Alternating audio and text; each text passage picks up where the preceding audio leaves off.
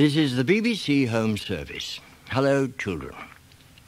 Children's Hour today starts with a nursery sing-song from the north of England, introduced by Trevor Hill, and then I'll be reading you Oscar Wilde's story of the selfish giant, and we finish with an episode from The Wind in the Willows by Kenneth Grahame. But now here's Trevor to introduce the first part of the programme. Hello, children, especially all our very young listeners, because we have nursery sing-song.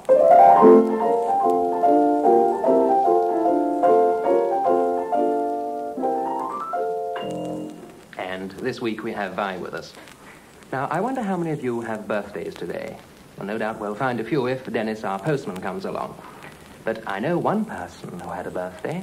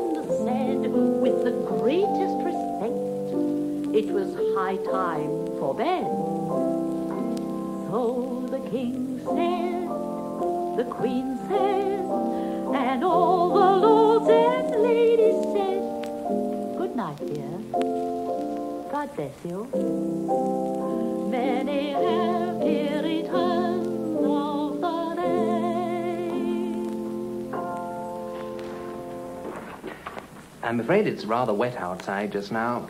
In fact, it looks as if we're in for the type of evening Irene Thompson and David have written about in this song.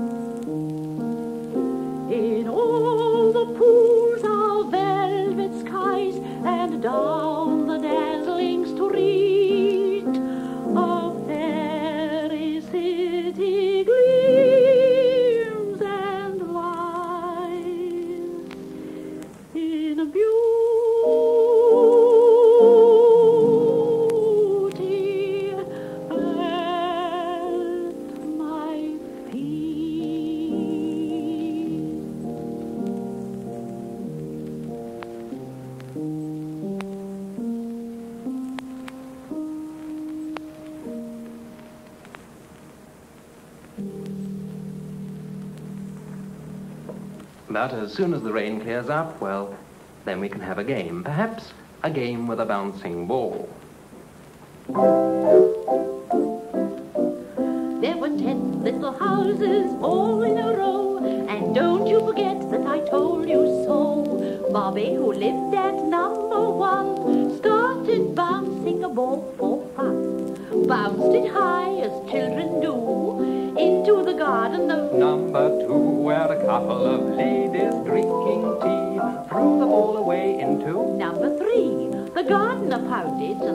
Knocked at the door of the people who lived there. Number four, nobody in, they'd gone for a drive, so he took the ball around too. Number five, the maid, when he'd gone, said he'd swallowed his drinks, threw it at once into... Number six, a gentleman was standing there gazing into heaven and bounced off his nose into...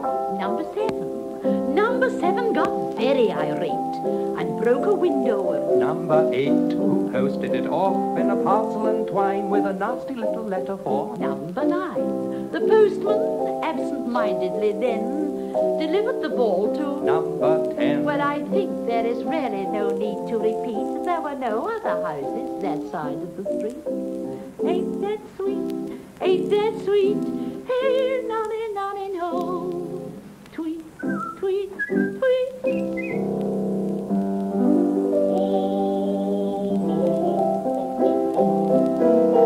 Ah, it must be time for request, Trevor. Here comes Dennis, our nursery sing-song postman. Huh, Are you afraid again, Dennis? Oh, yes, Miss Carson. Oh, I like saying Miss Carson. You? Oh, C's and S's always makes me whistle. so I've Uh, noticed. uh, uh, as I was saying, ma'am, oh, I'm afraid I can't stop this week. Oh, why? Busy in the garden? I expect he is, Vi. Oh, no, sir. It's too wet for gardening. The truth is, I've lost a postcard. Oh, dear. Uh, one what was sent to Sing Song. Oh. oh, however, here are the requests for today. Uh, now, I'll be off. Thank you, Dennis. Oh, has anyone seen a postcard, a postcard, a postcard, has anyone seen a postcard? Oh, I hope he finds it, Trevor. Oh, never mind. Perhaps it'll turn up for next time. Well, let's see what he's left for us today, shall we? Well, first he has some postcards from Juliet Mary, who'll be four on Saturday, and her brother David, from Jennifer Ann, who has a birthday next week, Nigel and Deirdre, who both have birthdays tomorrow, and they, Vi, would like you to sing Little Polly Flinders. Well, I don't blame her wanting to be near the fire today, do you?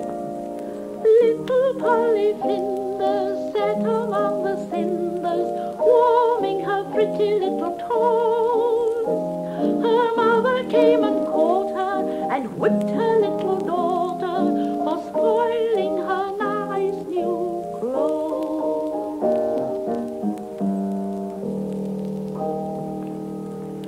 next time Polly sits by the fire, I hope she'll put an apron on. Now a request for Clive, who has whooping cough. Oh dear, we hope you're getting better, Clive. For Keith, who was five last week. Rosemary and Michael, who both have birthdays today. Happy birthday, Rosemary and Michael. Also Caroline and Cecilia, who I'm afraid both asked for this song rather a long time ago. Anyway, here it is for you now. Fuzzy Wuzzy was a bear.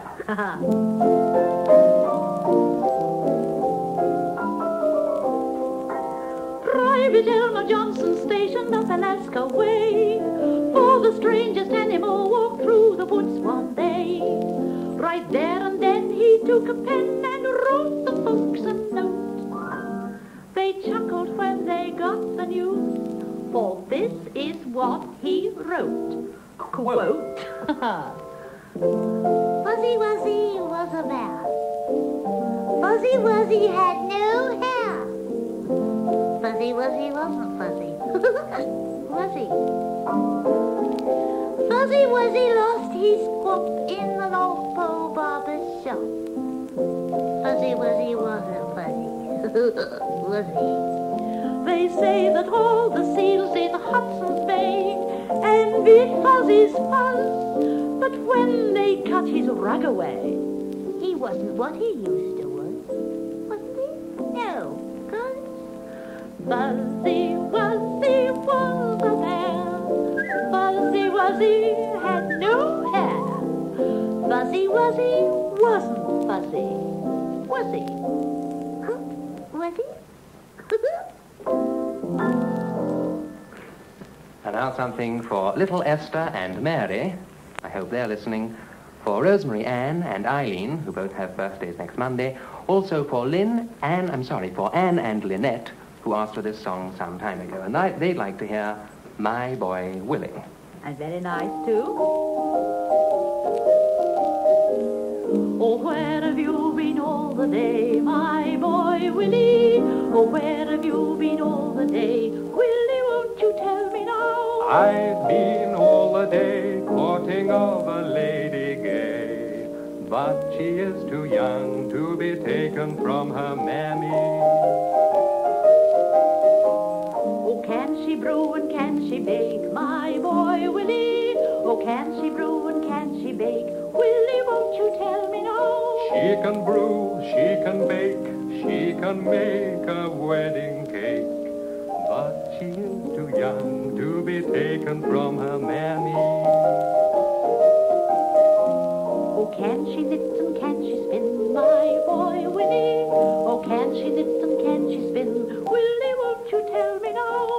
can knit, she can spin, she can do most anything, but she is too young to be taken from her mammy.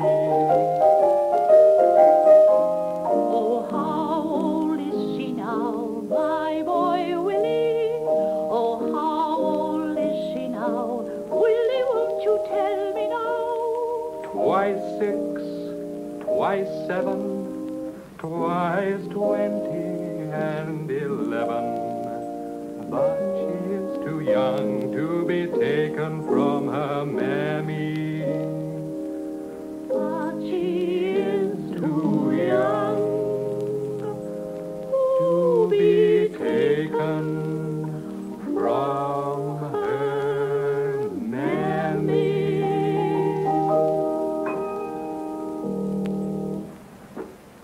brings us to our last request, Vi, which is for Jennifer Ann, Susan, Timothy, Valerie, Janice, Roger, Barbara, Pamela, Celia, and many, many other children who've asked for this particular song. But I'm afraid if I mentioned all your names, well, it would soon be six o'clock. anyway, for all of you, Vi is now going to sing The Teddy Bear's Picnic.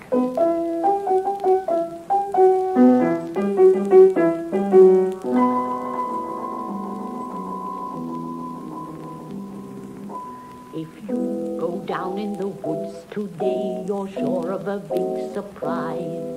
If you go down in the woods today, you'd better go in disguise. For every bear that ever there was will gather there for certain because today's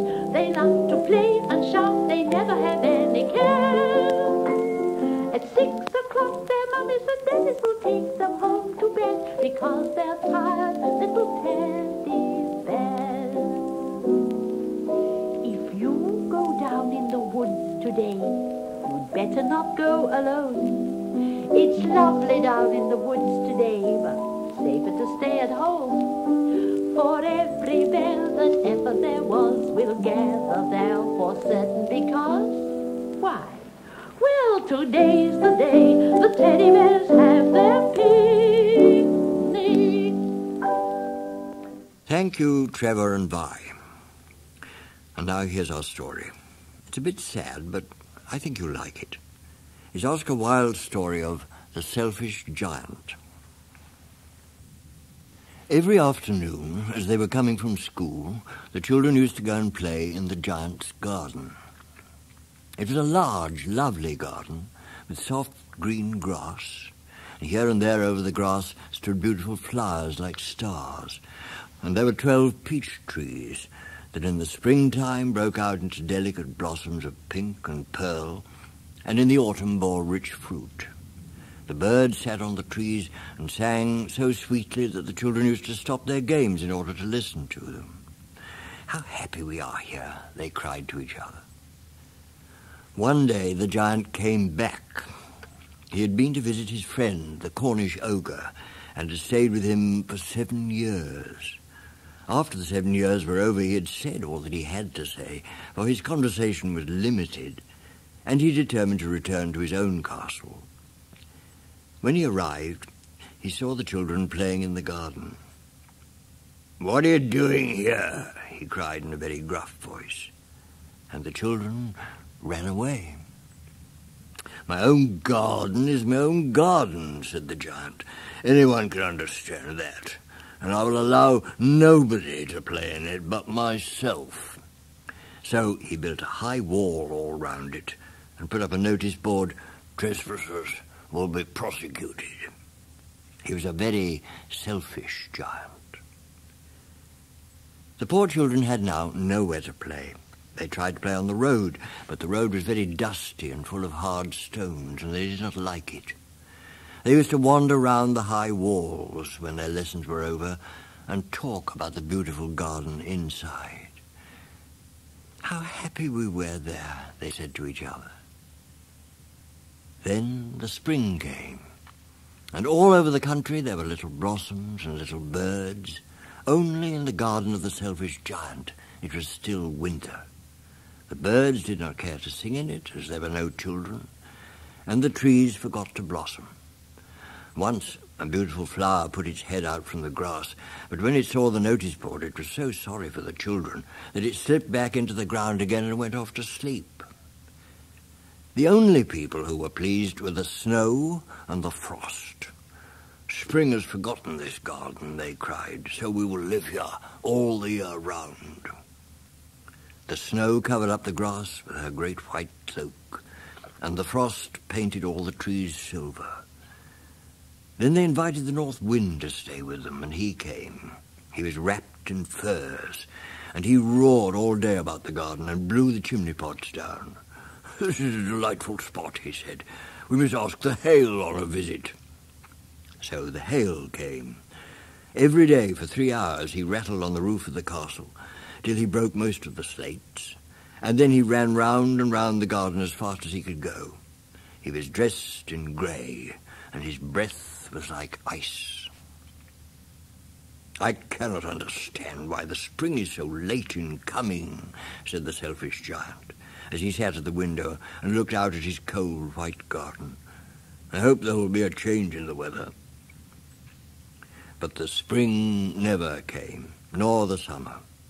The autumn gave golden fruit to every garden, but to the giant's garden she gave none. He is too selfish, she said. So it was always winter there, and the north wind and the hail and the frost and the snow danced about through the trees. One morning the giant was lying awake in bed when he heard some lovely music. It sounded so sweet to his ears that he thought it must be the king's musicians passing by. It was really only a little linnet singing outside his window, but it was so long since he had heard a bird sing in his garden that it seemed to him to be the most beautiful music in the world. Then the hail stopped dancing over his head, and the north wind ceased roaring, and a delicious perfume came to him through the open casement. I believe the spring has come at last, said the giant. And he jumped out of bed and looked out. What did he see? He saw a most wonderful sight. Through a little hole in the wall, the children had crept in, and they were sitting in the branches of the trees. In every tree that he could see, there was a little child. And the trees were so glad to have the children back again that they had covered themselves with blossoms and were waving their arms gently above the children's heads. The birds were flying about and twittering with delight, and the flowers were looking up through the green grass and laughing. It was a lovely scene. Only in one corner it was still winter. It was the farthest corner of the garden, and in it was standing a little boy. He was so small that he could not reach up to the branches of the tree, and he was wandering all round it, crying bitterly. The poor tree was still covered with frost and snow, and the north wind was blowing and roaring above it. Climb up, little boy, said the tree, and it bent its branches down as low as it could, but the boy was too tiny, and the giant's heart melted as he looked out. Ah, how selfish I've been, he said. Now I know why the spring would not come here. I will put that poor little boy on the top of the tree, and then I will knock down the wall, and my garden shall be the children's playground forever and ever. He was really very sorry for what he had done. So he crept downstairs and opened the front door quite softly and went out into the garden. But when the children saw him, they were so frightened that they all ran away, and the garden became winter again. Only the little boy did not run, for his eyes were so full of tears that he did not see the giant coming. And the giant stole up behind him and took him gently in his hand and put him up into the tree. And the tree broke at once into blossom, and the birds came and sang on it, and the little boy stretched out his two arms and flung them round the giant's neck and kissed him. And the other children, when they saw that the giant was not wicked any longer, came running back, and with them came the spring. It's your garden now, little children, said the giant. And he took a great axe and knocked down the wall. And when the people were going to market at twelve o'clock, they found the giant playing with the children in the most beautiful garden they had ever seen. All day long they played, and in the evening they came to the giant to bid him goodbye. But uh, where is your little companion? he said. The boy I, I put into the tree. The giant loved him the best because he had kissed him. We don't know, answered the children. He's gone away. You must tell him to be sure and come tomorrow, said the giant. But the children said that they did not know where he lived, and had never seen him before. And the giant felt very sad. Every afternoon when school was over, the children came and played with the giant, but the little boy whom the giant loved was never seen again. The giant was very kind to all the children, yet he longed for his first little friend and often spoke of him. Uh, how I would like to see him, he used to say. Years went over, and the giant grew very old and feeble. He could not play about any more, so he sat in a huge armchair and watched the children at their games and admired his garden. Uh, I have many beautiful flowers, he said, but the children are the most beautiful flowers of all. One winter morning he looked out of his window as he was dressing. He did not hate the winter now, for he knew that it was merely the spring asleep and that the flowers were resting. Suddenly, he rubbed his eyes in wonder and looked and looked. It certainly was a marvelous sight. In the farthest corner of the garden was a tree quite covered with lovely white blossoms. Its branches were golden, and silver fruit hung down from them, and underneath it stood the little boy he had loved. Downstairs ran the giant in great joy, and out into the garden. He hastened across the grass and came near to the child. When he came quite close, his face grew red with anger, and he said, Who hath dared to wound thee? For on the palms of the child's hands were the prints of two nails, and the prints of two nails were on the little feet. Oh, Who has dared to wound thee? cried the giant. Tell me that I may take my big sword and slay him. Nay, answered the child, but these are the wounds of love. Who art thou? said the giant. And a strange awe fell on him, and he knelt before the little child. And the child smiled on the giant and said to him, You let me play once in your garden. Today you shall come with me to my garden, which is paradise. And when the children ran in that afternoon, they found the giant lying dead under the tree, all covered with white blossoms.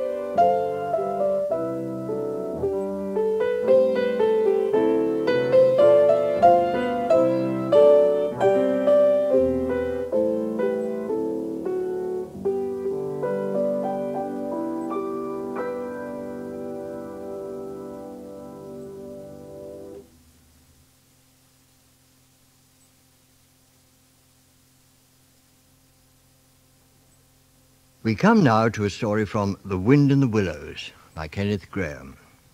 Norman Shelley plays Toad in Toad's Adventure.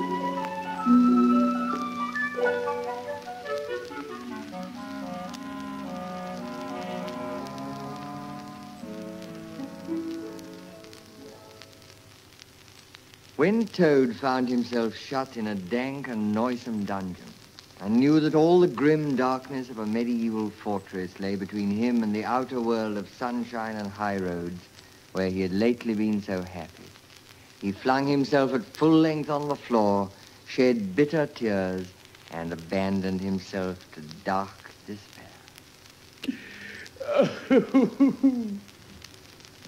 Oh, this is the end of everything. At least it is the end of the career of Toad, which is the same thing. The popular and handsome Toad. The rich and hospitable Toad. The Toad so free and careless and debonair. How can I hope to be ever set at large again? Who have been imprisoned so justly for stealing so handsome a motor car? In such an audacious manner, and with such dreadful cheek, bestowed upon such a number of fat, red-faced policemen. Stupid animal that I was. Now I must languish in this dungeon till people who are proud to say they knew me have forgotten the very name of Toad. Oh, wise old badger. Oh, clever rat and sensible mole. What sound judgments, what a knowledge of men and matters you possess. Oh, unhappy and forsaken Toad. With lamentations such as these, he passed his days and nights for several weeks, refusing his meals, though the grim and ancient jailer, knowing that Toad's pockets were well lined, frequently pointed out that many comforts and indeed luxuries could be sent in at a price from outside. Now, the jailer had a daughter, a pleasant girl and good-hearted, who assisted her father in the lighter duties of his post. She was particularly fond of animals, and besides her canary, she kept piebald mice and a squirrel. This kind-hearted girl, pitying the misery of Toad, said to her father one day, Father, I can't bear to see that poor beast so unhappy and getting so thin. You let me have the managing of him. You know how fond of animals I am. I'll make him eat from my hand and sit up and do all sorts of things. Her father replied that she could do what she liked with him. He was tired of Toad and his sulks and his airs and his meanness. So that day, she went on her errand of mercy to Toad's cell. Now, cheer up, Toad, and sit up and dry your eyes and be a sensible animal. And do try and eat a bit of dinner. See, I brought you some of mine, hot from the oven. It was bubble and squeak between two plates, and its fragrance filled the narrow cell. The smell of cabbage reached the nose of Toad as he lay in his misery on the floor, and gave him the idea for the moment that perhaps life was not such a blank and desperate thing as he imagined. But still he wailed and kicked with his legs and refused to be comforted. So the wise girl retired for the time. But of course a, a good deal of the smell of hot cabbage remained behind, as it will do. And Toad, between his sobs, sniffed and reflected, and gradually began to think new and inspiring thoughts of chivalry and poetry and deeds still to be done, of broad meadows and cattle, of kitchen gardens and straight herb borders and warm snapdragon beset by bees, and of the comforting clink of dishes set down on the table at Toad Hall.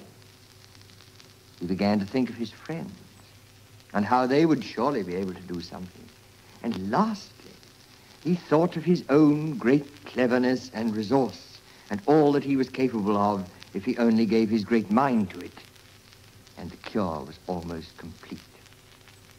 When the girl returned some hours later, she carried a tray with a cup of fragrant tea steaming on it, and a plate piled up with very hot buttered toast, cut thick, very brown on both sides, with the butter running through the holes in it in great golden drops, like honey from the honeycomb. The smell of that buttered toast simply talked to Toad, and with no uncertain voice. Talked of warm kitchens, of breakfasts on bright frosty mornings, of cozy firesides on winter evenings when one's ramble was over and slippered feet were propped on the fender, of the purring of contented cats and the twitter of sleepy canaries. Toad sat up on end once more, dried his eyes, sipped his tea, and munched his toast, and so began talking freely about himself and the house he lived in and his doings there and how important he was and what a lot his friends thought of him. The jailer's daughter saw that the topic was doing him as much good as the tea, as indeed it was, and encouraged him to go on. Tell me about Toad Hall. It sounds beautiful. Toad Hall is an eligible, self-contained gentleman's residence, very unique. Dating in parts from the 14th century, but containing every modern convenience. Up-to-date sanitation, five minutes from church, post office, and golf links oh, suitable Bless for... the animal. I don't want to take it. Tell me something real about it. Oh, So Toad told her about the boathouse and the fish pond and the old walled kitchen garden, and about the pigsties and the stable, and the pigeon house and the hen house, and about the dairy and the wash house, and the china cupboards, and the linen presses, she liked that bit especially, and about the banqueting hall and the fun they had there when the other animals were gathered round the table, and Toad was at his best, singing songs, telling stories, carrying on generally. Then she wanted to know about his animal friends and was very interested in all he had to tell her about them and how they lived and what they did to pass their time. When she said good night, having filled his water jug and shaken up his straw for him, Toad was very much the same hopeful, self-satisfied animal that he had been of old. He sang a little song or two the sort he used to sing at his dinner parties, curled himself up in the straw, and had an excellent night's rest and the pleasantest of dreams. They had many interesting talks together after that as the dreary days went on, and the jailer's daughter grew very sorry for Toad and thought it a great shame that a poor little animal should be locked up in prison for what seemed to her a very mild offense.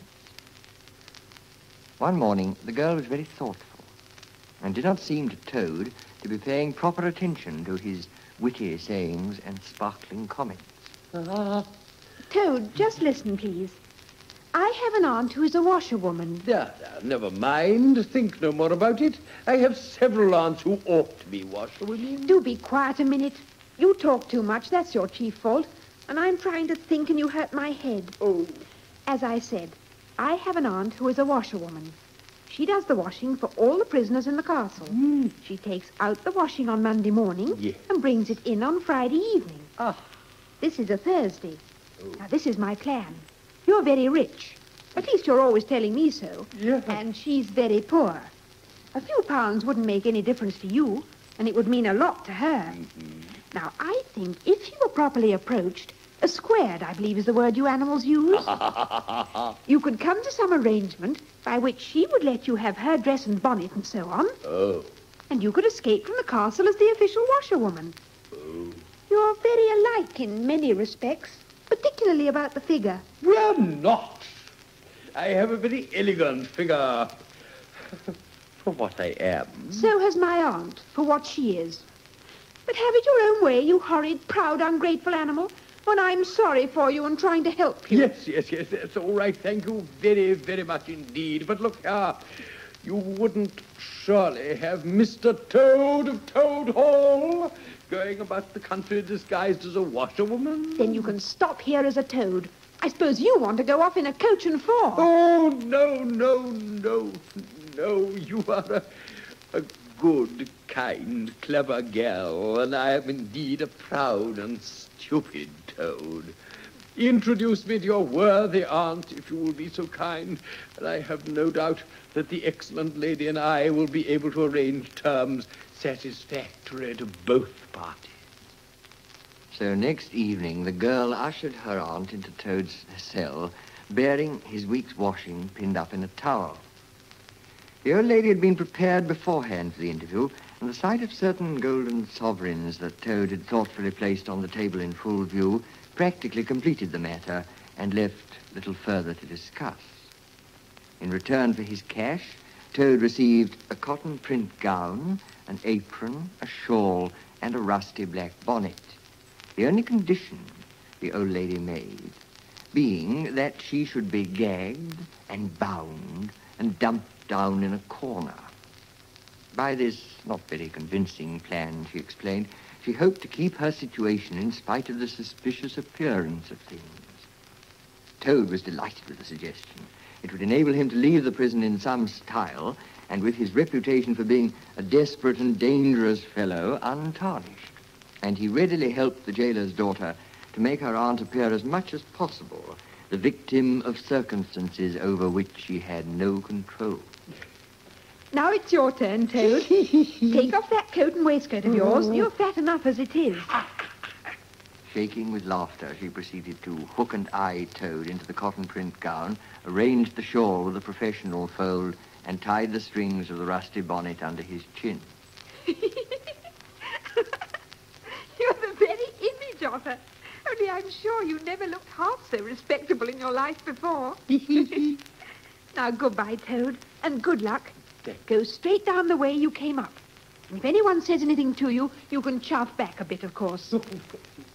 With a quaking heart, but as firm a footstep as he could command, Toad set forth cautiously on what seemed to be a most harebrained and dangerous undertaking. But he was soon agreeably surprised to find how easy everything was made for him. The washerwoman's squat figure in its familiar cotton print seemed a passport for every barred door and grim gateway.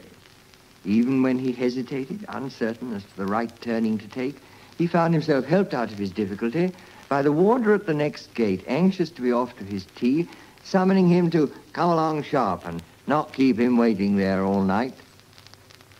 It seemed hours before he crossed the last courtyard, but at length he heard the wicket gate in the great outer door click behind him, felt the fresh air of the outer world upon his anxious brow, and knew that he was free. Dizzy with the easy success of his daring exploit, he walked quickly towards the lights of the town, not knowing in the least what he should do next, only quite certain of one thing, that he must remove himself as quickly as possible from a neighborhood where the lady he was forced to represent was so well known. As Toad walked along, his attention was caught by some red and green lights a little way off to one side of the town, and the sound of the puffing and snorting of engines and the banging of shunted trucks fell on his ear. Ah, This is a piece of luck. A railway station is the thing I want most in the whole world at this moment. And what's more, I needn't go through the town to get it. He made his way to the station, consulted a timetable, and found that a train bound more or less in the direction of his home was due to start in half an hour. Is it Toadville Junction? Yes. Oh, yes, more luck. And he went off to the booking office to buy his ticket. He gave the name of the station that he knew to be nearest to the village of which Toad Hall was the principal feature. But as he mechanically put his fingers in search of the necessary money where his waistcoat pocket should have been, he found not only no money, but no pocket to hold it, and no waistcoat to hold the pocket. To his horror, he remembered that he had left both coat and waistcoat behind him in his cell, and with them his pocketbook, money, keys, watch, matches, pencil case, all that makes life worth living, all that distinguishes the many-pocketed animal, the lord of creation, from the inferior, one-pocketed or no-pocketed creature. In his misery, he made one desperate effort to carry the thing off, and with a return to his fine old manner, a blend of the squire and the college don, he said, Uh, look here. I find I've left my purse behind. Just give me that ticket, will you? And I'll send the money on tomorrow. I'm well known in these parts. The clerk stared at him and the rusty black bonnet a moment, and then laughed, simply saying, Oh, I should think you were pretty well known in these parts if you've tried to escape on often. What? Here, stand away from the window, please, madam. You're obstructing the other passengers. Oh. An old gentleman who had been prodding Toad in the back for some moments here thrust him away, which angered Toad more than anything that occurred that evening. Baffled and full of despair, he wandered blindly down the platform where the train was standing, and tears trickled down each side of his nose. What was to be done? He was not swift of foot. His figure was unfortunately recognizable. Could he not squeeze under the seat of a carriage? As he pondered, he found himself opposite the engine, which was being oiled, wiped, and generally caressed by its affectionate driver, a burly man with an oil can in one hand and a lump of cotton waste in the other. Good afternoon. Uh, hello, Mother. Uh, wh- what's the trouble? You don't look particularly cheerful. Oh, sir. I'm a poor, unhappy washerwoman, and I've lost all my money and can't pay for a ticket. And I must get home tonight somehow, and whatever I am to do, I don't know. Oh, dear, oh, dear. Oh, no, that's a bad business indeed. Lost your money and can't get home. And got some kids, too, waiting for you, I dare say. Oh, any amount of 'em. And they'll be hungry and playing with the matches and upsetting lamps, the little innocents. And quarrelling and going on generally. Oh, dear, oh, dear. Oh, no, well, now, I, I tell you what I'll do. You're a washerwoman to your trade, says you. Eh. Very well, that's that. And I'm an engine driver, as you may well see. I do. And there's no denying it's terrible dirty work. Filthy. Uses a power of shirts, it does, till me missus is fair tired of washing of them. Yes. If you'll wash a few shirts for me when you get home and send them along, sure, I'll give you a ride in the engine. Oh! The toad's misery turned into rapture as he eagerly scrambled up into the cab of the engine. Course, he'd never washed a shirt in his life and couldn't if he'd tried, and anyhow, he wasn't going to begin. But he thought, When I get safely home to Toad Hall and have money again and pockets to put it in, I will send the engine driver enough to pay for quite a quantity of washing. And that will be the same thing, or better. the guard waved his flag, the engine driver blew the whistle, and the train moved out of the station. As the speed increased, and the toad could see on either side of him real friends and trees and hedges and cows and horses all flying past him, And as he thought now every minute was bringing him nearer to Toad Hall, and sympathetic friends, and money to chink in his pocket, and a soft bed to sleep in, and good things to eat, and praise and admiration at the recital of his adventures and his surpassing cleverness. He began to skip up and down, and shout, and sing snatches of song, to the great astonishment of the engine driver, who had come across washerwomen before, but never one at all like this. They had covered many and many a mile, and Toad was already considering what he would have for supper when he got home, when he noticed that the engine driver, with a puzzled expression on his face, was leaning over the side of the engine and listening. Oh, now, it's very strange. We're the last train running in this direction tonight. Yet I could be sworn that I heard another following us. Toad ceased his antics at once. He became grave and depressed, and a dull pain in the lower part of his spine, communicating itself to his legs, made him want to sit down and try not to think of all the possibilities. By this time, the moon was shining brightly, and the engine driver, steadying himself on the coal, could command a view of the line behind them for a long distance. Oh, you can see it clearly now. Uh-huh. it is an engine on our rails, coming along at a great pace. Oh. It looks as if we were being pursued. The miserable toad, crouching in the coal dust, tried hard to think of something to do with dismal want of success. Oh, they're gaining on us fast. And the engine is crowded with the queerest lot of people. Men like warders, policemen in their helmets, waving truncheons, and shabbily dressed men in top hats, waving revolvers and walking sticks, all waving, and all shouting the same thing. Stop, stop, stop. Toad fell on his knees then among the coals and raising his clasped paws in supplication cried, Save me, only save me, dear kind Mr. Engine Driver. Ooh! And I will confess everything.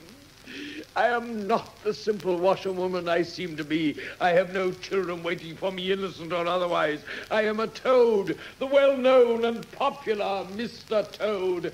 I have just escaped by my great daring and cleverness from a loathsome dungeon into which my enemies had flung me. And if those fellows on that engine recapture me, it will be chains and bread and water and straw and misery once more for poor unhappy innocent toad. Now tell the truth. What were you put in prison for? it was nothing very much. I only borrowed a motor car while the owners were at lunch. They had no need of it at the time.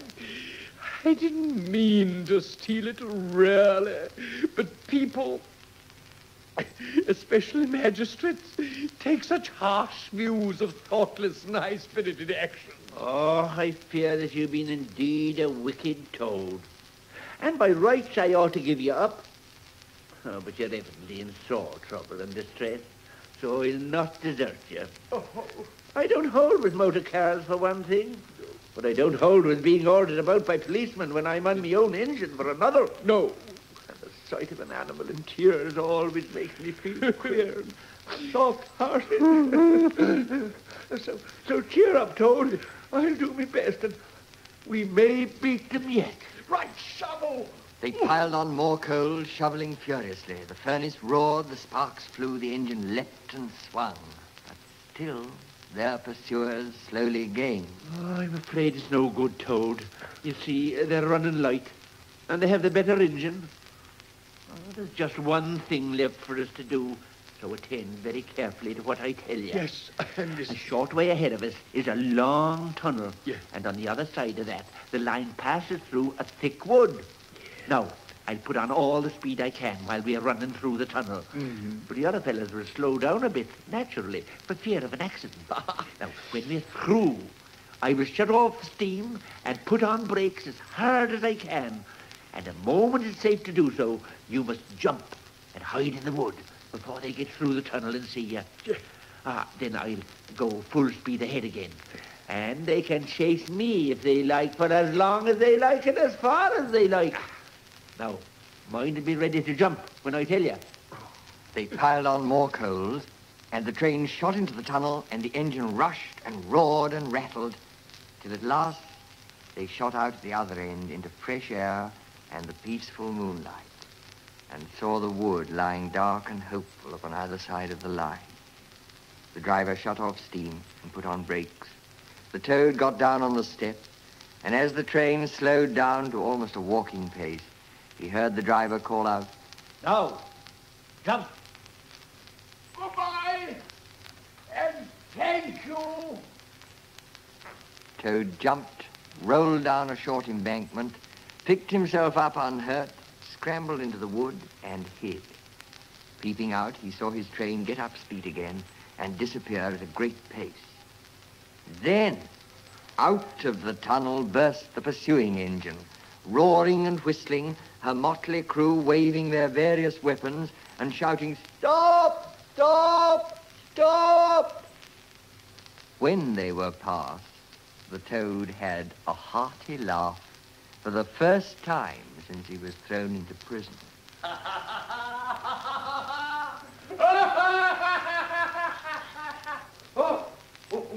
He soon stopped laughing suddenly when he came to consider that it was now very late and dark and cold, and he was in an unknown wood with no money and no chance of supper, and still far from friends and home, and the dead silence of everything after the roar and rattle of the train was something of a shock.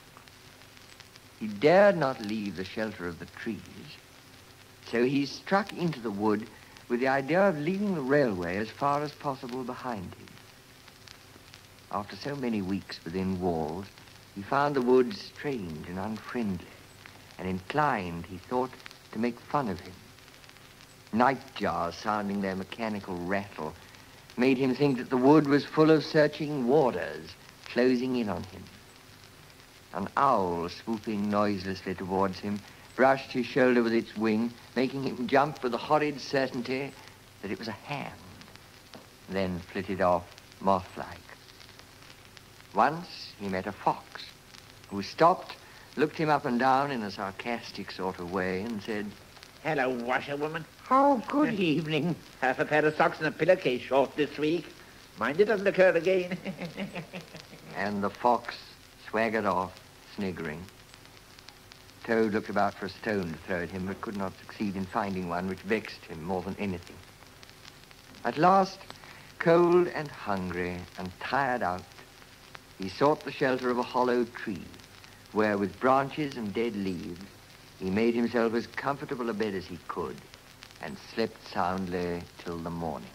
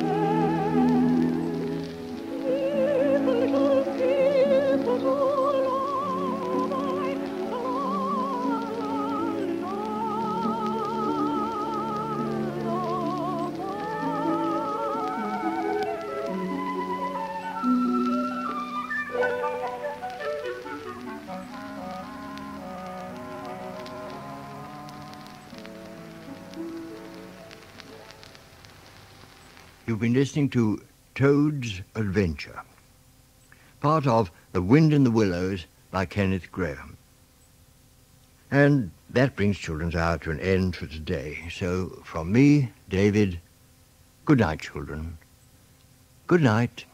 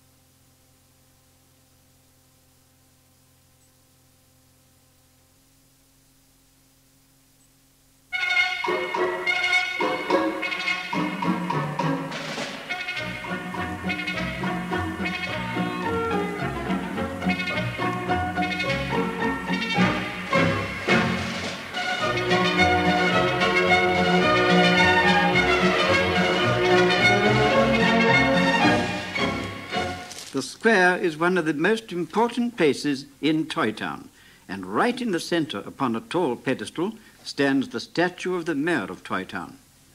Now, this statue was one of the first things to catch the eye of Ernest the policeman each morning as he crossed the square on his way to the town hall. But one morning, as he entered the square, he paused in astonishment and stared hard at the statue, for it had been painted bright green. As Ernest stood there, a little bleating voice spoke at his elbow. Oh, oh, oh, Mr. Ernest, sir, you, you do look funny this morning. Your eyes are all goggly. So would you look goggly, Larry, my lad, if you could see what I see? Can you?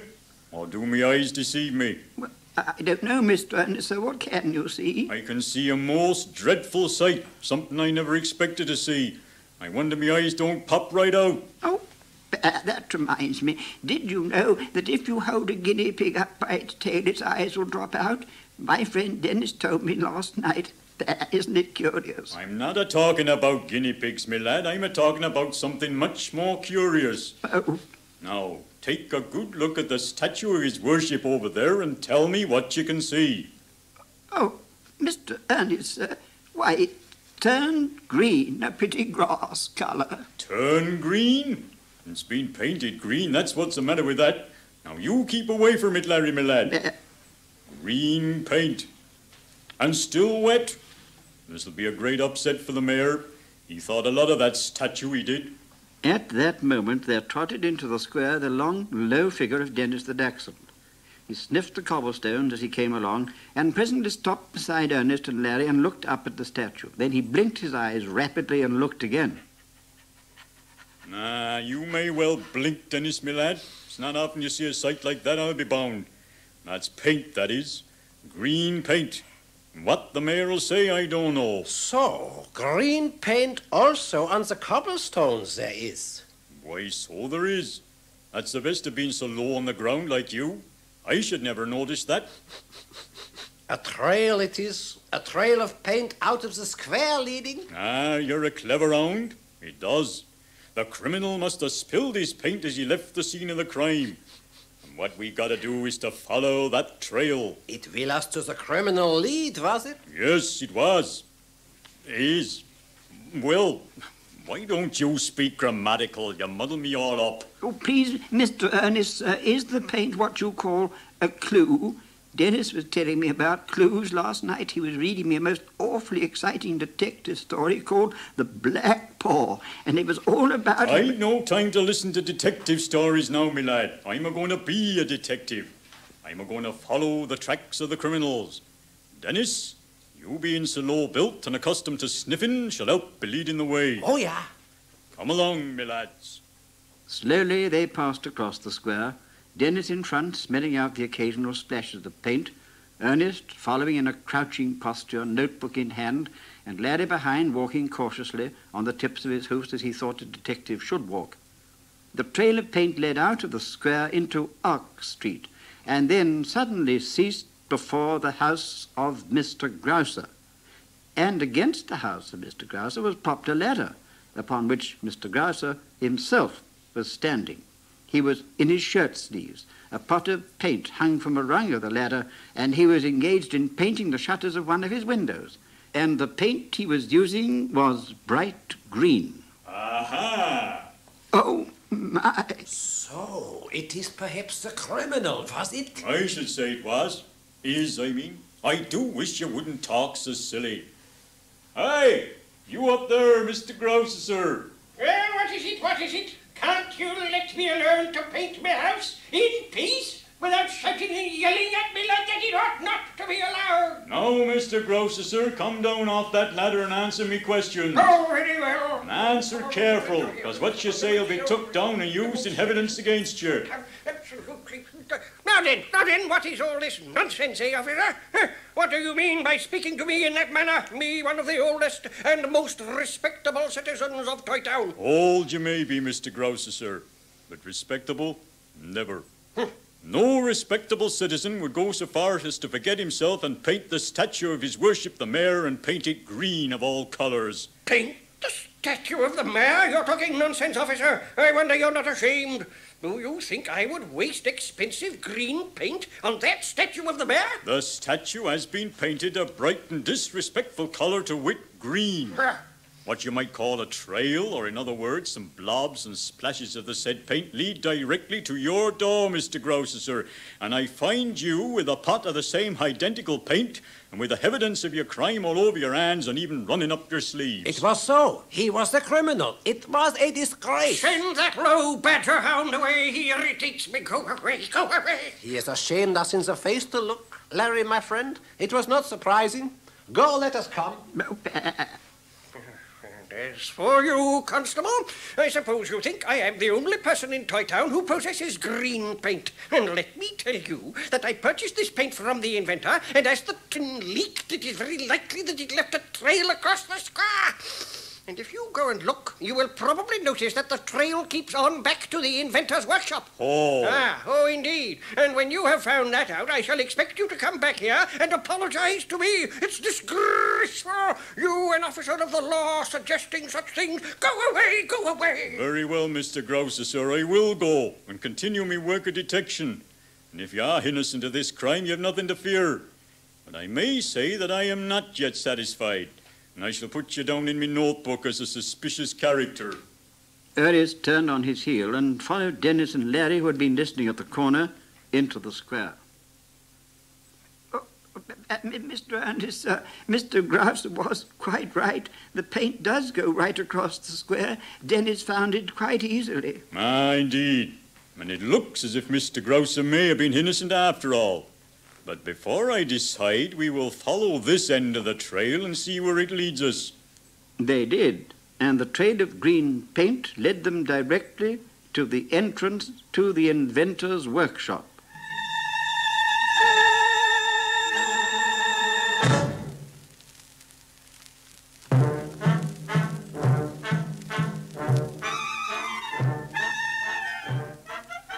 The inventor was at home and at work, and as Ernest and his companions entered the workshop, the inventor laid down the hammer with which he had been pounding a sheet of tin and looked up with surprise.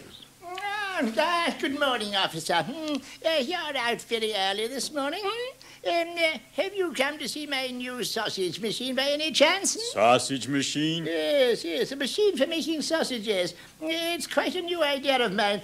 I finished it yesterday. Uh, uh, uh, this is it. The inventor led them to a very complicated looking apparatus standing against the wall. Ernest looked at it and then stared hard at the inventor. Then he looked at Larry and Dennis and gave a knowing cough. I see uh, you've painted it green, Mr. Inventor, sir? Yes, it's, uh, it's uh, really a very useful appliance, officer. Hmm? Uh, you see, you put the meat stuff in this end and then turn the handle attached to this wheel, hmm? and uh, after a time, sausages begin to come out of the other end. Hmm?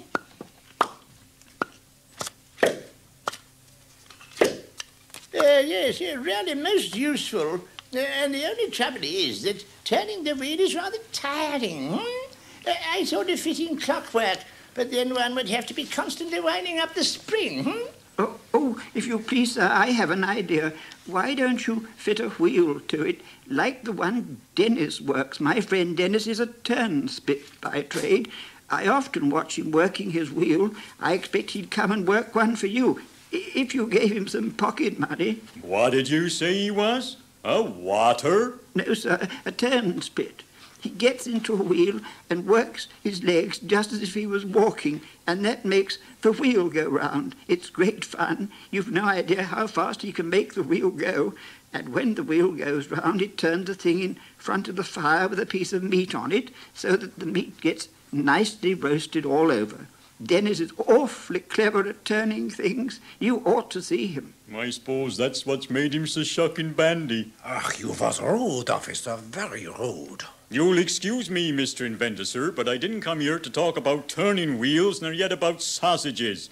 I remarked, when this lamb broke in with his chatter, that you'd painted your machine green. Yes, well, uh, why not, officer? Hmm? Uh, why not? Uh, green is a nice, cheerful colour. A very nice colour for painting a sausage machine, no doubt. but by no means nice for painting other things I could name, such as the statue of his worship, for example. Yes, I, uh, I quite agree that it is hardly suitable for that. Hmm? Um, it would be rather disrespectful, perhaps, to uh, to paint the mayor's statue any colour. Hmm? Ah, then let me tell you, Mr. Inventor, sir, that last night between supper time and breakfast, somebody, somebody painted the statue of his worship a bright green. And what is more, the identical green you got there. And what I should like to know is, what were you doing last night between the times mentioned? Uh, well, uh, really, officer, you can hardly suggest that I painted the mayor's statue when I had such an interesting thing as a sausage machine to paint. Hmm? And as a matter of fact, I've sold quite a lot of this paint. Uh, and, uh, I've made much more than I wanted. Uh, I, I sold a tin to Mr. Growser, and I've sold several other tins. Aha. Uh, yes, the people I forget. Hmm. Uh, I remember now that I, I took a tin out last evening after tea to deliver to someone. Yes, but I was uh, I was rather absent-minded, I'm afraid, having so much to think about in connection with this new sausage machine. Hmm. Uh, I put the tin down somewhere and, and forgot it. Hmm. Which means to say you left a tin of paint somewhere for any criminal to get hold of. Yeah, yes, I'm afraid so. Uh, and a brush to go with it. Hmm. Uh, But uh, it doesn't follow that anyone who finds a tin of paint must at once paint the nearest statue. Hmm? True, sir. There is something in that. Very well, that amounts to this. You left a tin of paint somewhere in the street last night. Very careless, I calls it, sir. Very careless. Yes, yes, yes, yes. I, I left it somewhere, I know. Hmm. And now I come to think it over. hmm, I, I feel sure I left it in the square. Hmm. Um, I remember putting it down while I looked at the mayor's statue. Yes, I was, I was thinking how nice and clean it looked and how light his worship. Hmm. Ah, that is very important evidence. And at that time, you're certain the statue was not painted? Oh, uh, yes, absolutely, sir. Hmm. Uh, and that must have been just before supper time. Hmm. Uh, I recollect that the sentry who walks up and down in front of the town hall had just come on duty for the night. Hmm. Ah, we're now beginning to move. The evidence is a coming in fast. I forgot that sentry. I must see him at once.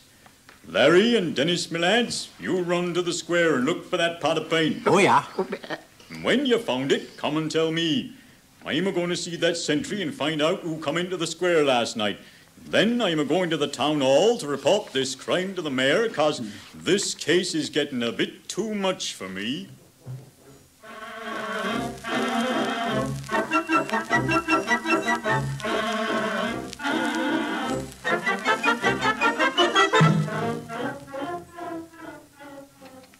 Larry and his friend Dennis found the pot of paint at once, behind the pedestal on which stood the statue of the mayor.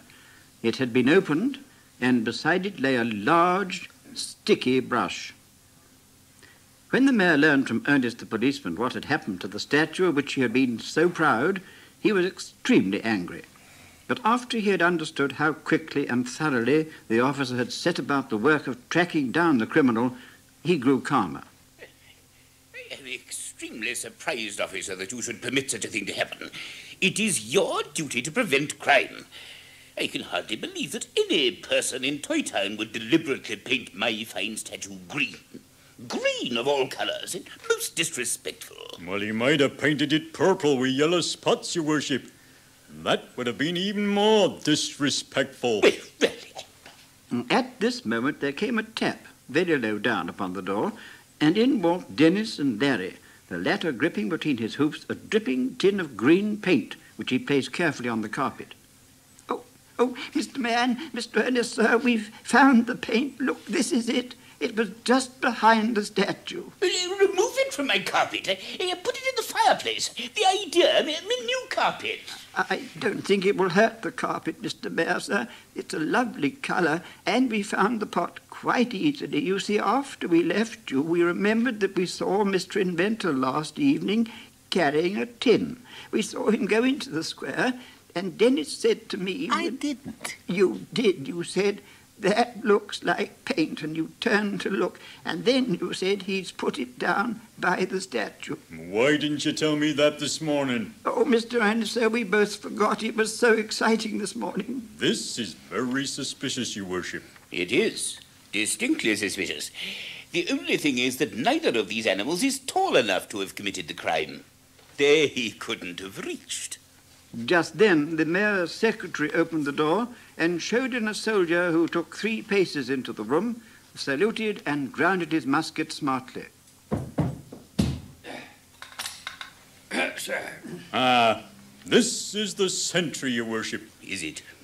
When I heard his report, I told him to come here and tell you. I thought you ought to hear it, your worship, because it shows that this here crime's a darker deed than what we thought. Now, my lad, repeat to his worship what you told me about last night. Last night at 8 p.m., I went on duty for to perform my duties as sentry. it was then a growing dark, but there was a nice bright moon. There was then no one in the square. But at 8.15 p.m., or as near as makes no difference, I saw the inventor enter the square carrying some object. He seemed dazed like, as if he'd forgotten something. He put the object down near the statue and then wandered off, dazed like, and a little while after I saw these two animals, the lamb and that there sausage dog, come into the square. They both went up to the object. Are you referring to my statute? Uh, statue? No, sir. The, the object what proved to be a pot of paint. They stood there talking, and I went over to see what they was up to, knowing that animals will be animals, as you might say. Indeed. and then they both trotted off, and I followed them up and saw them safely out of the square. Then I went back and took another look at the object and also at the statute, which I find a very soothing thing to look at when on duty and nothing to do. This appears to be a most intelligent fellow. I- oh. Now, uh, tell me, my man, um, when you looked at the uh, statue, uh, was it green or was it its natural colour? Natural colour, sir. All white and glistening it was. Reminded me of something on top of a Christmas cake. Then clearly those two animals had no hand in the affair. Proceed, uh, my man. Sir, after that, sir, I went back to my sentry box and nothing happened for a long time. And then, suddenly, I saw somebody come into the square, and on looking careful like, I saw it was the magician. He walked straight across the square, and I was wondering what he was out so late for when a most remarkable thing happened. A barrel came rolling after the magician. Rolling? Yeah, rolling. Do you mean the magician was pulling a barrel behind him? No, sir. It was rolling all by itself. You could have knocked me down with a feather. I says to myself, that's magic, that is. Magic. I never did like magic. And when I see that magician walking along with a great barrel, rolling along with him with no visible means of support, as you might say, I says, this ain't right, this ain't. And I come over all gruesy. In fact, sir, I went into my sentry box and put me head in the corner and stayed there. Poor fellow.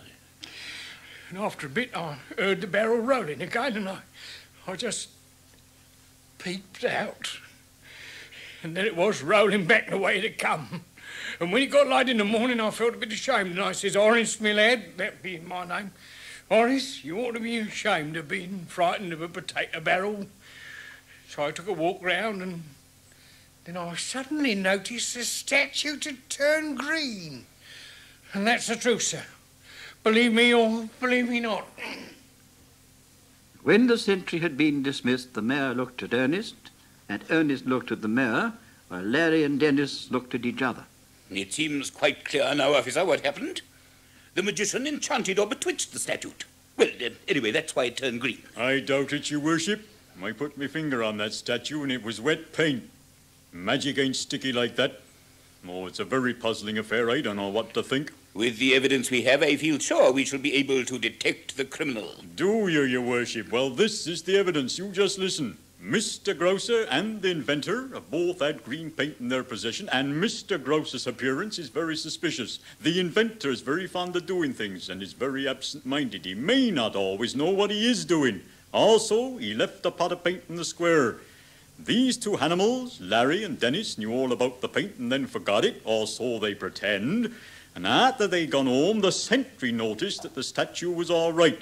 And between that time and the morning when the sentry saw the statue was green, nobody come into the square except the magician, evidently doing some sort of magic. What trick he was up to, we don't know. And I'm a bit suspicious of that sentry. Now then, what I want to know is two things, namely, one, who was the criminal?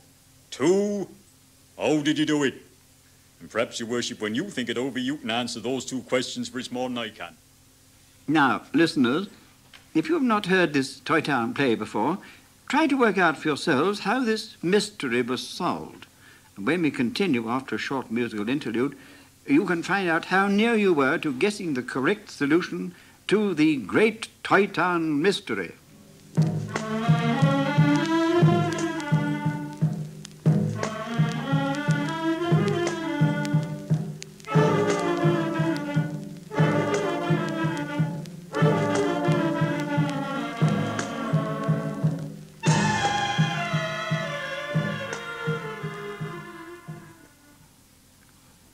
The solution. The mayor of Toytown had just finished a very good breakfast, for the inventor had sent round a packet of sausages made by his new sausage machine with a request that the mayor would be good enough to try them. And the mayor agreed that they were excellent sausages. Now, just as he finished eating them, there was a clatter of hoofs, and without even knocking on the door, in rushed Larry the Lamb. He was a pitiable sight. Tears streamed from his little eyes, and for a few moments he could do nothing but sob and wave his front hoofs. Oh, oh, blah. Oh, hey, good gracious me, my poor lamb. What is it? What, whatever's the matter? oh, now, come, come, pull yourself together and tell me what is the matter. Haven't you a handkerchief? No. There, there. Mr. Mayor. Well, now, come, come, take your time, my poor lamb. Take your time. Mr. Mayor, sir, have you had your breakfast yet? Breakfast? Certainly. I've had some excellent sausages which the inventor sent me. Oh, oh, oh. At the word sausages, Larry had broken out afresh into bars and sobs, and neither the mayor nor his secretary could quieten him. They fussed round him with handkerchiefs, and in the middle of the commotion, Ernest the policeman stepped into the room. Ah, good morning, officer. Do you think you could do anything with this lamb? He seems almost too overcome to speak. Now, come, my poor lamb. What is it? Come, tell Uncle Ernest. Well, I, I mentioned I had partaken of sausages for breakfast, and he immediately began to carry on like this. Uh, uh, uh, Mr. Mayor, Mr. Mayor, sir, did you eat all the sausages? Uh, yes, certainly, my lamb, and very fine they were. Oh, Mr. Mayor, sir, do you know you've eaten my friend Dennis? Uh, oh, dear. Uh, I was just saying what excellent sausages they were. But I don't understand this. Do you mean, Larry, my lad, that your friend Dennis got mixed up with the sausage machine? Yes, yes, sir. We think he fell into it. Now, come, come. Perhaps it's not as bad as you think. Uh, try and tell us what happened. I, I will, Mr. Mayor, sir. M- Mr. Ernest, you, you remember the inventor's sausage machine and how he had to turn a handle to make it work. And you remember I explained that my friend Dennis was a, a turnspit by trade. Indeed. Oh, when I explained how Dennis could turn a wheel round with his paws and told the inventor how he could fit a wheel to his sausage machine, well, he did, and he arranged with Dennis to come and get inside the wheel and turn it every evening for threepence a week. Oh, There, there. well, last night, sir, we left Dennis turning the wheel of the sausage machine, and the inventor and I went out to buy some more pepper and, and, and stuff, you, you know. But when we came back, there was no sign of Dennis. But in the tray was a, a, a, great pile of sausages. Oh, oh no. And at first we thought Dennis had got tired and gone home. So I helped to pack up some of the sausages, and on my way home I put a packet in your letterbox with a note as the inventor told me. But Dennis didn't come home last night. And when I went to the workshop this morning, the inventor was looking very unhappy, and he said, I'm afraid Dennis fell into the machine last night, and now he's sausages. Oh, dear.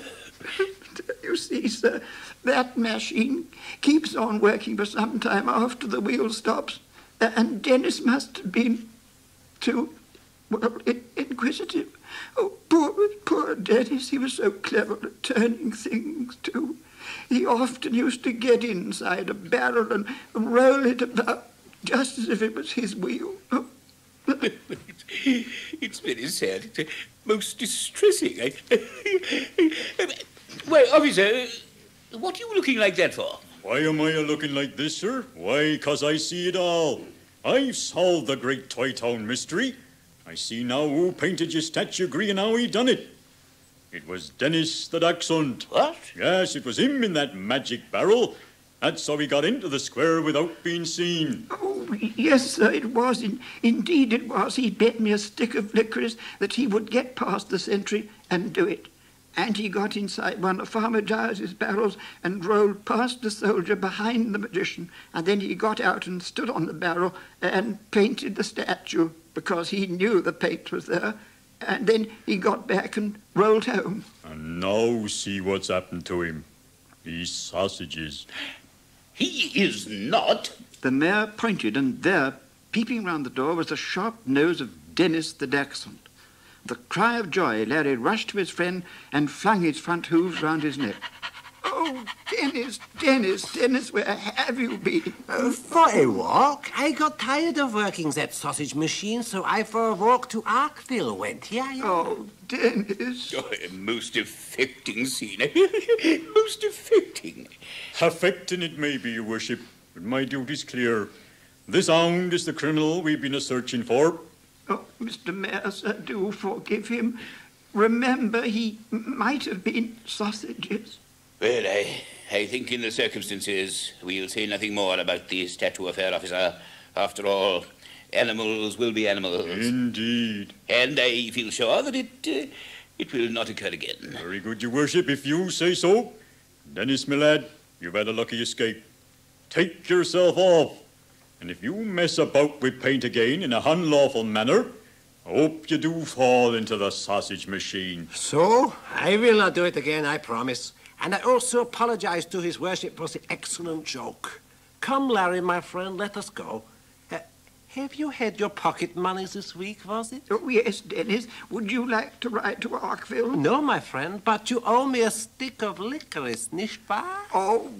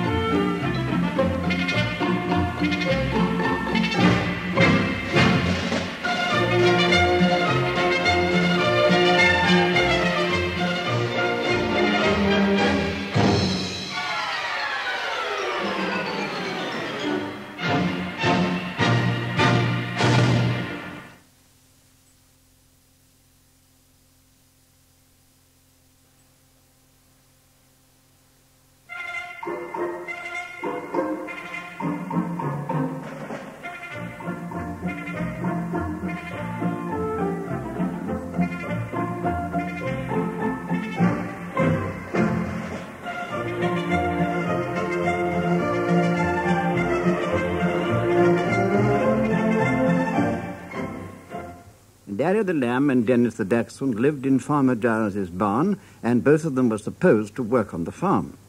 But as a matter of fact, neither of them did any work to speak of.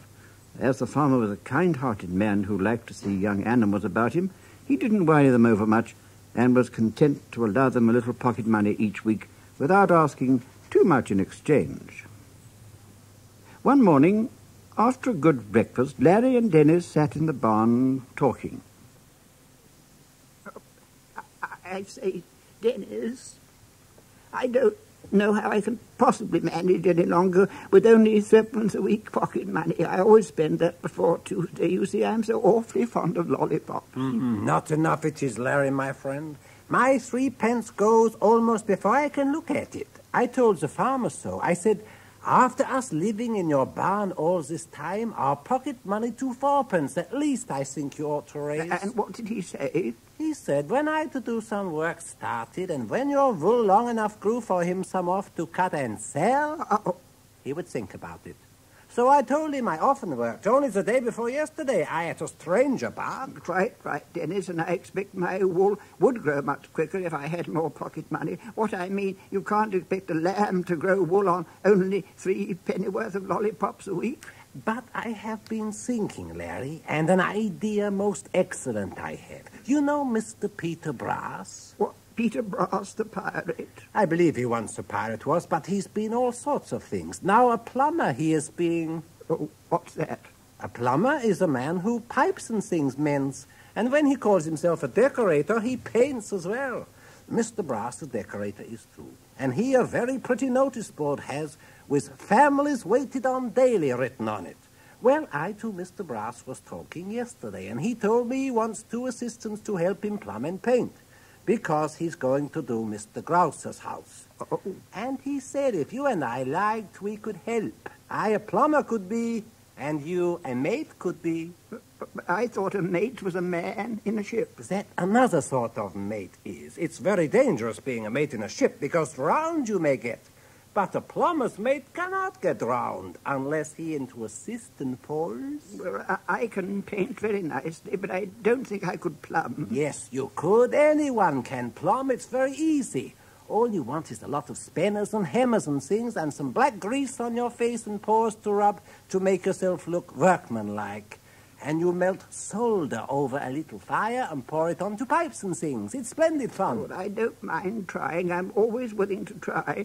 But I don't think I should ever be a really good plum mate. And I hate getting my fleece dirty. But we each at least sixpence a week should get. Mr. Brass said so. And I don't mind rubbing myself all over with black grease for sixpence a week. It's worth it, was it? Larry felt very doubtful about Dennis's splendid idea, but he allowed himself to be persuaded, and presently both animals set out for the shop of Mr. Brass. They found that gentleman nailing up his new signboard, but when Dennis and Larry tried to attract his attention, he climbed down and listened to what Dennis had to say. Ah, so you want to be plumbers, do you?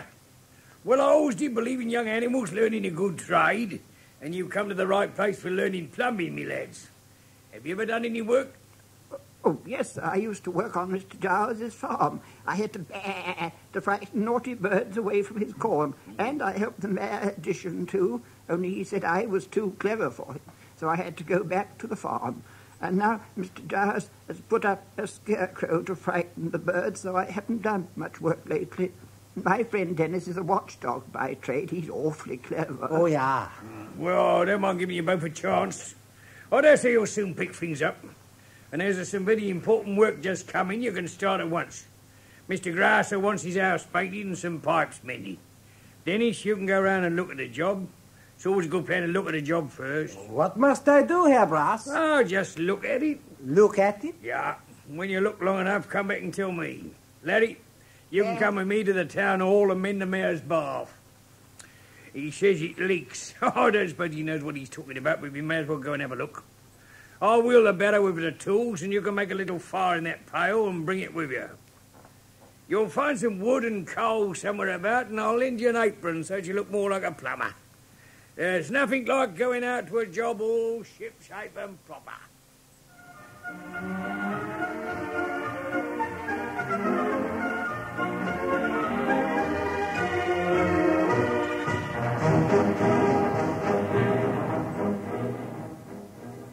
The mayor of Toytown was seated in his study at the town hall when his secretary bustled in. Your worship, the plumbers have arrived. Uh, the plumbers? The plumbers? Yes. What do they want? Well, you ordered me to fetch a plumber to look at your bath. You said it was leaking. So I sent round to Brass and Co. Families waited on daily, and they have arrived. Oh, yes, yes, of course. I remember now you mention it. Uh, the bath does leak. I noticed it this morning distinctly. Someone has been dancing in that bath. Dancing in that bath. Probably with boots on. Anyone can see that. Well, do you know anything about it? Oh, I, your worship. Oh, certainly not. No, I shouldn't dream of dancing in your bath or even paddling in it without your permission. Uh, well, I have my suspicions. If it wasn't you, it must have been Ernest the policeman. However, kindly see that it doesn't happen again. Very well, yes, your worship. Admit these plumbers.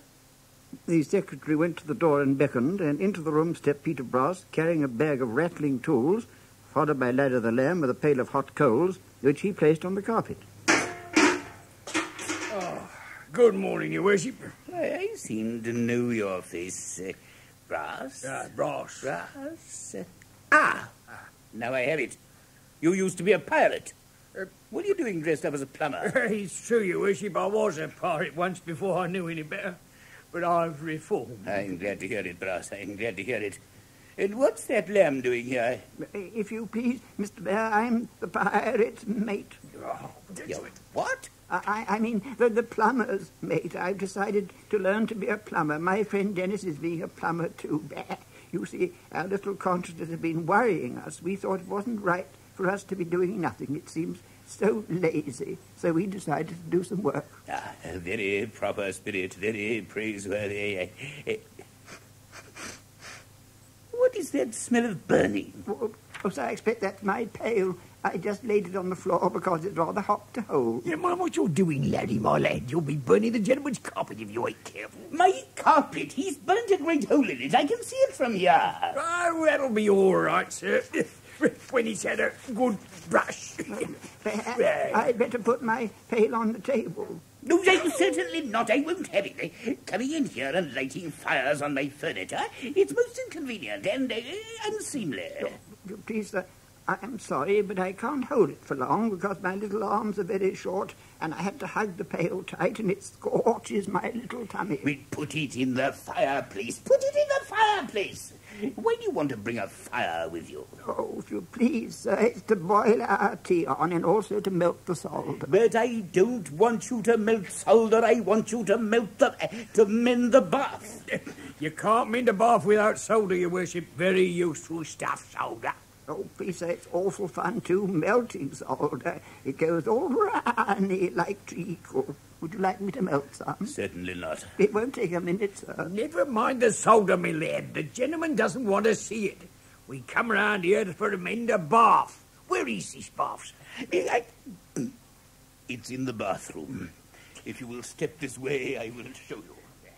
Then the mayor jumped, for with a loud clatter, Brass shot a heap of tools from his bag onto the table. Here you are, laddie, my lad. Choose yourself an hammer, a good heavy one. We're going to mend the gentleman's bath. The two plumbers followed the mayor to the bathroom where the mayor pointed to a hole in the bath. Larry stood on the tips of his hoofs and just managed to peer over the edge. Oh, that's a job that wants a bit of doing, that is. It's lucky you called us in. That bath will start leaking if you're not careful. Start leaking? But it does leak, and that's why I want you to mend the hole. Ah, but what I want to know is, is it the hole that leaks, your worship, you Huh? see? When you want to let the water away, you pull out that plug and the water runs away through that pipe. Leastways it should do. It makes a funny gurgly noise like my friend Dennis when he's being tickled. Don't interrupt, Larry, my lad. Oh, this job wants thinking out. It's no good rushing at a job of this sort. As I was about to say, your worship, if that pipe is stopped up, the water can't run down it. I suppose you haven't been sailing boats in your bath by chance, or celluloid frogs or anything of that sort? No, uh, uh, certainly not. I only ask because a celluloid frog or a toy boat will stop up a pipe before you know where you are. And then, of course, the water can't run down it, so it leaks away through the nearest hole.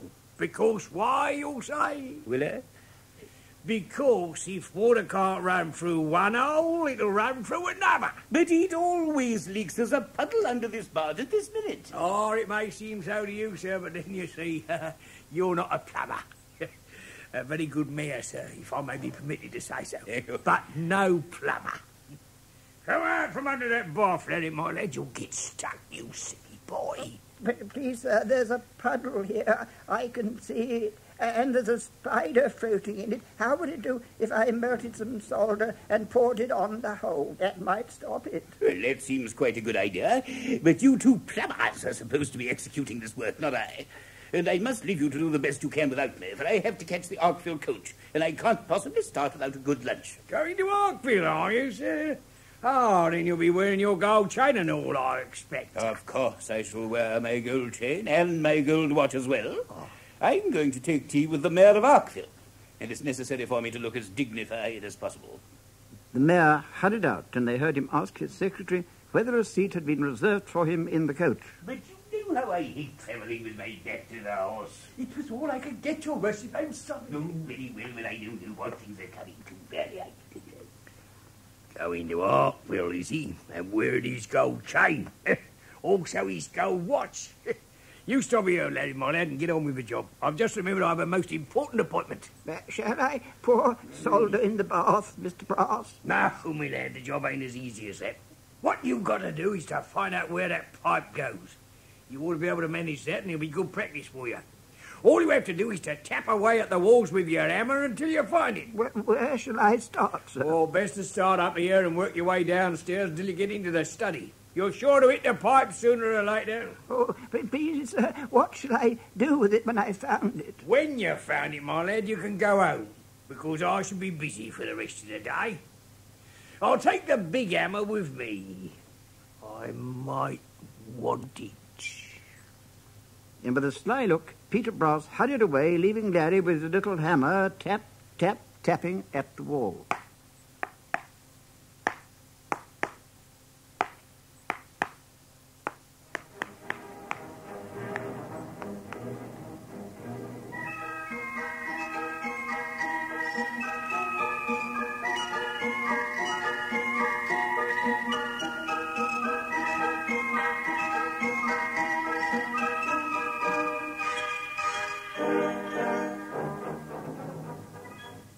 About an hour later, Larry the Lamb was working hard in the mayor's study, trying to find the pipe as he'd been ordered by Peter Brass. He knew it must be in the wall somewhere, and a trail of cracked plaster showed where he had passed down the stairs from the bathroom. He was a conscientious lamb, and was doing his work thoroughly. And now he stood on the mantelpiece in the study, banging away with his hammer, and he rather thought, from a gurgling noise in the wall, that he had at last found the pipe he was searching for. But suddenly, when he was about to give an extra hard bang on the wall to make sure, he heard a scamper of paws, and into the room rushed his friend Dennis, looking very excited and breathing heavily. Larry, Larry, come down quickly. I've something to tell you. Something dreadful. Where's the mayor? Oh, he's just finishing his lunch. He's going to Arkville. Go, he must not. Oh, do come down. I cannot talk to you up there. Something dreadful is going to happen. We must think what to do. Larry hastily climbed down from the mantelpiece, bringing several china ornaments with him, and dropping his hammer with a crash on a pot of fern. Oh, what is it? Larry, a crime to prevent we must. You know Mr. Brass sent me to look at Mr. Growser's house. Yeah. Well, I went and looked, and when for a long time I had been looking, Mr. Growser his head out of the window put, and said he wouldn't have me staring at his house in that rude way, and that if I didn't move off, he would Ernest a policeman sent. So I came away and went back to the shop to tell Mr. Brass. And when I got to the shop and inside went, I heard voices. Voices? Yes, voices, people talking oh. in the room behind the shop. And I thought they sounded very mysterious voices, so I listened. Then I on the floor crawled and through the doorway peeped very cautiously. And who do you think I saw? Father Christmas. Father Christmas. No, certainly not. I saw Mr. Brass talking to a highwayman. And here Mr. Brass was saying they were going to stop the Arkville coach and how splendid it would be. And the mayor his gold chain would be wearing. Oh, is dreadful. And the worst of it is that the mayor may think we help because he knows we are Mr. Brass's mates. Well, as soon as I heard, I ran as hard as I could to tell you so that we could decide what to do. Don't you think we ought the mayor and Ernest the policeman to tell? Oh, I, I, I shouldn't like to do that. I'm sure Mr. Ernest is rather suspicious of me already because he looked at me very strangely when he saw me walking along behind Mr. Brass this morning with my little pail. Besides, do you think it's quite right for us to tell tales about our master? Yeah, we did not know he a highwayman was when we started being his mates, but now we do know it is our duty to tell. Oh, I daren't, but I know what we must do. We must prevent Mr. Mayor from going to Arkville this afternoon. How can we do that? Well, I might hit him on the head with my little hammer. Then perhaps he would have such a headache he'd stop at home. Mm, not tall enough, are you? You could not reach. I could if I stood on a chair. No, we must have some better way, think. Hush, here's the mayor. Think hard. Larry scrambled up to the mantelpiece again and began banging on the wall with his hammer just as the mayor entered the study. Good gracious me, what's all this? Eh? What are you doing up there? What do you mean by knocking my walls about like that? Oh, uh, if you please, Mr. Mayor, sir, I, I, I'm looking for a pipe. But is that any excuse for knocking the plaster off the walls and jumping about on my tables and mantelpieces and... Oh, why, I declare, you've broken my lovely little mug. no, no, no, the China one with a present from Arkville written on it. Oh, this is disgraceful. Oh, oh, but, but, Mr. Mayor, sir, I must find the water pipe. Mr. Brass told me to tap until I found the pipe. Larry gave an extra hard bang. There was a gurgling sound, and then a long stream of water shot out from the wall and poured down upon the carpet. He's found it, sir! He's found oh, it! Oh, oh, oh Mr. Mayor, sir, the water's all coming out, and I can't stop it. The proper way to stop water from a pipe outcoming is to stick your thumb in the end. I haven't got a thumb, only little hooves. Oh, Mr. Mayor, sir, would you mind sticking your thumb into the end of this pipe to stop the water squirting out? My hoofs won't go in, and Dennis hasn't got a proper thumb, and I know his paws won't fit. If you'll be kind enough to do it, I'll run round to Mr. Brass's shop and get help. Me? Are you suggesting that I, the mayor of Toytown, should stand on a mantelpiece with my thumb stuffed into a water pipe? I never heard of such a thing. It'd be most unsuitable for a man in my position. Oh, please, sir, it will be only for a minute. If you don't, we shall all get dreadfully wet. Look, look how fast the water is coming out. But, uh, but uh, I, I, I'm just about to start for Arkville. I shall miss the coach. Uh, we shan't keep you a minute, sir. On our way to the shop, we can tell the coach driver to wait for you. If only my secretary were here, he'd be just the man to stuff his thumb into a pipe. He's such a useful secretary. But I've sent it to the Ark with a message. Oh, very well then, I suppose I must. But it's most unsuitable for a man in my position. Help me. And, and do be quick. Run all the way, and all the way back. The mayor climbed onto the mantelpiece with some difficulty, and after getting his sleeves full of water, succeeded in stopping the pipe with his thumb. As soon as they saw he was safely in position, Larry and Dennis hurried away. A splendid idea of yours that was. We have the mayor from being robbed saved. He cannot very well catch the coach now, but to make quite sure, we will round to the square run and tell the coach driver not to wait because the mayor has been detained.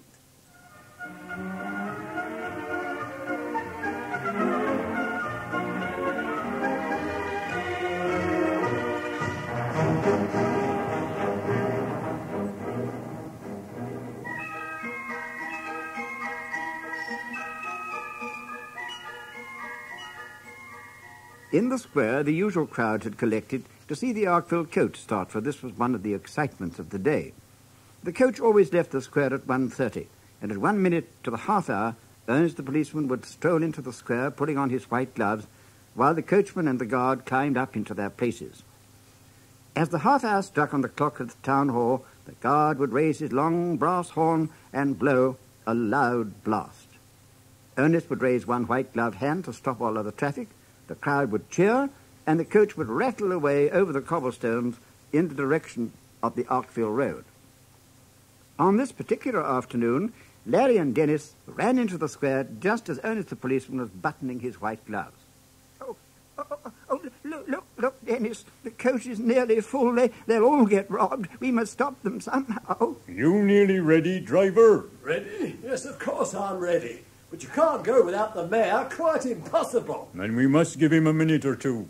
A very punctual gentleman, the mayor. You won't keep us long. It's disgraceful keeping us waiting like this. He, the mayor of Toytown, he ought to set a good example. He'll be here any minute now, sir. He ought to be ashamed of himself, and he won't have my seat when he does come. Uh, I was here first. Why doesn't he ride in his own coach instead of keeping us hanging about here? His worship's private and personal coach is being painted. Extravagant. And I must ask you not to speak disrespectful like Mr. Growser, sir. Or it'll be me painful duty to take your name and address. He ought to be ashamed, officer, and I don't care who knows it. Oh, oh Mr. Driver and Mr. Coachman, but Mr. Mayor can't go today. He he is detained. You're not to wait for him. There, there, what did I tell you? Disgraceful! After keeping us hanging about like that, it ought not to be allowed. Uh, and, Mr. Driver, it doesn't seem a very nice afternoon for you to go at all. I'm sure it's going to rain. Uh, don't you think you ought to wait until tomorrow? It's sure to be a lovely day tomorrow. Here, what are you talking about? Rain? The driver ain't afraid of a drop of rain? Well, uh, well you, Mr. Ernest, there are a lot of other reasons why the coach ought not to go today. Uh, last night I had an awful dream. Oh, indeed. I dreamed that the coach was held up by robbers and that everyone in it was robbed, and I was so frightened I fell out of my little manger. Here, here. What's all this? What do you mean by dropping all those hints and frightening everybody like this? The animal knows something. I can see it in his eye. He knows the coach is going to be robbed, and I wouldn't be surprised if he's one of the robbers. He ought to be ashamed. Oh, if you please, sir, please. Now, now, my lamb, speak up. Have you any reason to suppose there's any jiggery pokery going on? Remember, I'm the law. Don't you go trifling with me. If you know something and don't out with it, you'll find yourself in a very awkward fix, my lad. Oh, oh, please, Mr. Ernest, sir, I- I'm, I'm very suspicious, and so is my friend Dennis. Oh, yeah, yeah. You see, he heard two tough-looking men saying they were going to rob the coach, only we were afraid to say anything because one of the men was Mr. Brass. Ah, indeed. You done well to speak up, my lad. Mr. Brass is in it, is he? Well, I know how to deal with Mr. Peter Brass. I dealt with Peter Brass afore. And where's me truncheon? Now, you, Mr. Growser, sir, shift along a bit, please. Come along, sir. I'm a going to take a ride in this coach, and I'd like to see the rubber that had robbed this coach while I'm in it. Larry, my lad, walk out into the middle of the square and hold up the traffic while we start. And mind you don't get run over. Get up Daisy! The horn blew. The whip cracked, and the coach drove bravely out of the square.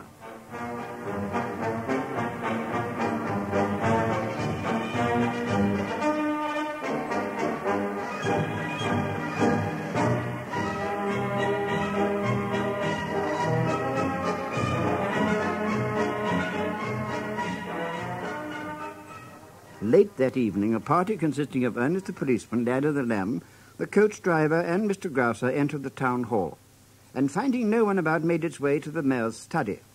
The room was in darkness, and nothing could be heard but a mysterious gurgling and splashing. But when Ernest switched on the light, everyone jumped with astonishment. Oh, well, I never. There was the mayor of Toytown standing on the mantelpiece, looking very wet and uncomfortable, with one hand stuck into a large crack in the wall from which water was dripping. It was also dripping from his sleeve. Your worship, we wanted to speak to you if you're not too busy. Busy, officer, busy? I- I've been up here all this afternoon, I'd have you know. I see, and that is how you spend your time, sir. Gallivanting about on mantelpieces. Uh, no wonder the town is going to wreck and ruin. You ought to be ashamed of yourself. But what's been going on here, your worship? What's all this smashing and breaking and all? Who's been banging the walls down? And what's that big hole in your new carpet? Oh, he's done it himself. It's his idea of amusement.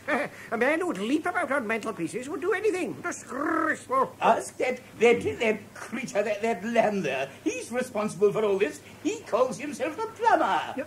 P- M- Mr. Mayor, sir, not a really proper plumber, only a mate. That, that, that wretched animal broke a water pipe with his nasty hammer and then persuaded me to insert my thumb into the aperture in order to stop the water. I've been here for hours and hours. I've had no tea, and I'm certain I shall catch cold. Rheumatics. That's what you get, your worship. Rheumatics, like what I got. Oh, please, Mr. Mayor, sir, I did it for your own good. My own good? Oh, it was to prevent you getting robbed, you see.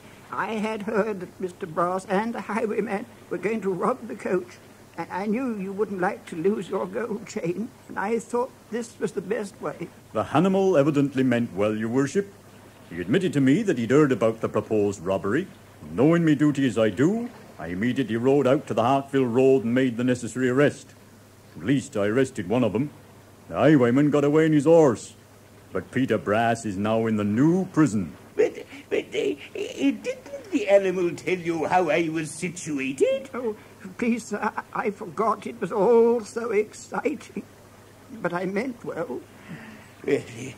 in these circumstances, I suppose I ought to be grateful to you, my lamb. You certainly saved my gold chain of office and also my gold watch. But I wish you could have saved them in a more comfortable way. And it wasn't at all necessary for me to stop this pipe with my thumb. All we wanted was a cork. I've been thinking it out all the afternoon, and it occurred to me just before you came in. A cork. A cork! And if someone will kindly procure a cork, I shall be able to withdraw my thumb and descend to a more dignified little life. Mr. Mayor, sir, I'm glad you feel grateful because I did my little best. And if you want to reward me, I don't want a medal. A medal? No, I, I'd soon have a little bell on a ribbon to tie around my neck. A blue ribbon, please, as I'm a little boy lad. And now, sir, would you like me to finish mending that hole in your bath?